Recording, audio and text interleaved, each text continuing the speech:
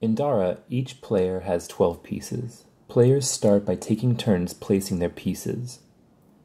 Once all pieces have been placed on the board, the goal is to be the first to capture 10 of your opponent's pieces. You make a capture by moving one of your pieces to make a row of 3. Then you can choose an opponent's piece to capture.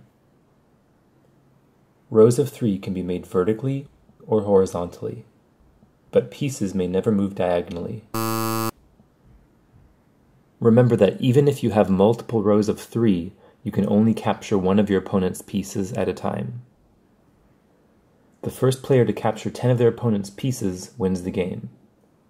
Here are some important things to remember. When making a move, you cannot immediately follow it by moving the same piece back to the same space again. It must be moved to a new space first. At no point in the game can you have four or more consecutive pieces.